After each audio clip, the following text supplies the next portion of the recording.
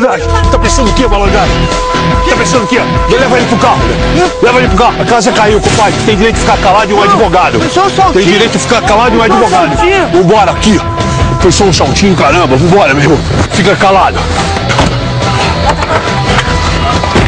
Mas eu não fiz nada, moço! Tá bom, tá bom.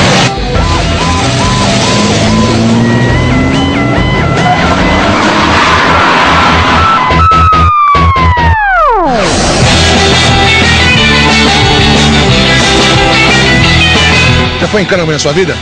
Em cana? Se eu sou polícia, te dou voz de prisão agora, você sabe o que fazer ou não? Eu corro, né? Mas se você for, você sabe o que você tem que fazer pra isso? Pra se livrar? Mas se por acaso você for preso, você sabe o que fazer?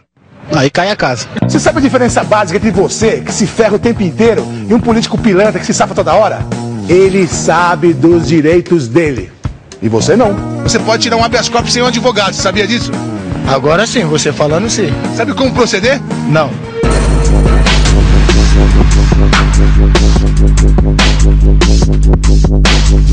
Então aprenda. O telefone.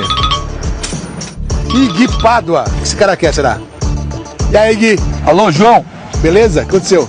Seguinte, velho, tô preso. Quê? Você tá em cana? Exatamente. O que você fez, cara? Saltei ali no Pacaembu, me pegaram. Sério, meu? Tô aqui preso, com roupinha listrada e tudo, e o delegado não deixou pagar a fiança. Não tem como. Vou fazer aqui um habeas corpus, vou levar pro juiz de direito. Aham. Tá? Aí acho que hoje você é solto. Exatamente. Aí eu vou te pegar. Quebra então. essa aí, beleza? Tá? Tô aqui tá, esperando. Então falou, falou, até mais. Valeu.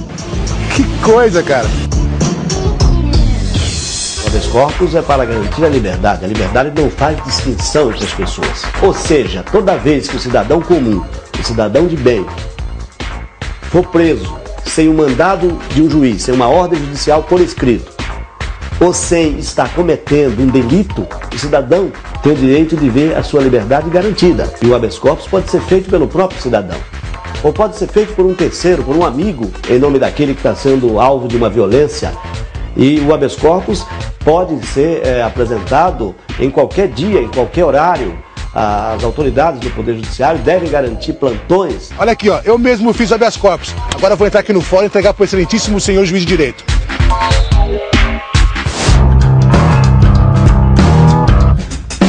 Em Alberta, no Canadá, se você estiver preso e o liberarem, você tem direito a pedir uma arma e um cavalo para sair da cidade.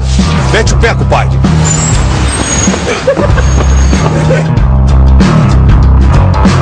Qual foi a última carta que você mandou na sua vida?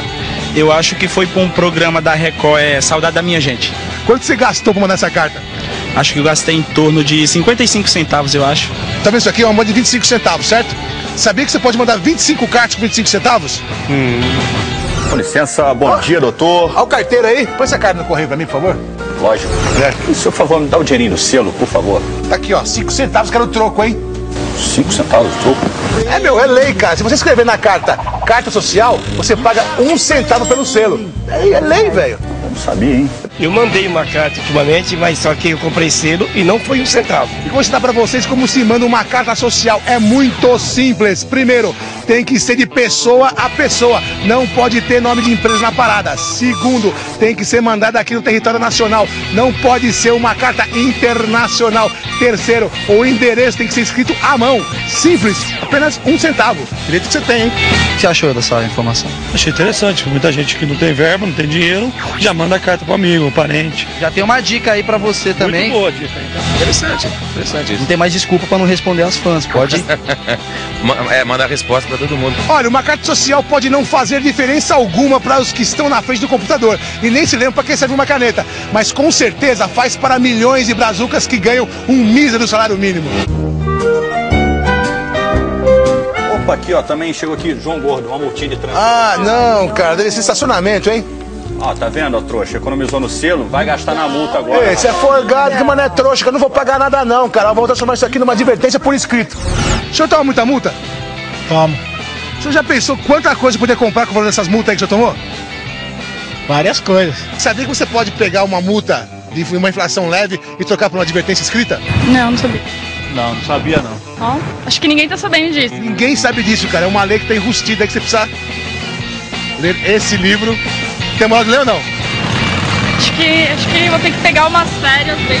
Alguns direitos são que nem mau hálito. Você tem, não sabe e ninguém tem coragem de te contar. O artigo 267 do Código de Trânsito Brasileiro, ele permite que, se, que o, se o cidadão ele cometeu uma infração leve é, e foi só uma nos últimos 12 meses, ele pode solicitar à autoridade de trânsito que converta isso numa simples advertência. Você acha isso pouco? Absolutamente. O valor de uma multa dessa pode comprometer o orçamento de toda uma família.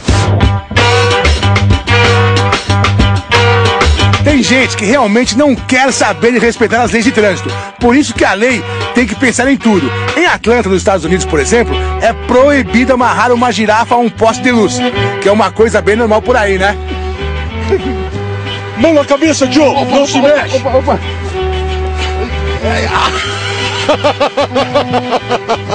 Não se mexe!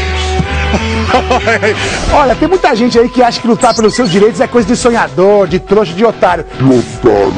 Mas se você não correr atrás do seu, quem que você acha que vai correr, hein? Os políticos lá de Brasília, ó. Se a gente lutasse contra as verdadeiras injustiças com a mesma garra que torcemos pela seleção, nós brasileiros teríamos muito mais motivos para deixar aquela bandeira verde e amarela na janela, mesmo depois da Copa.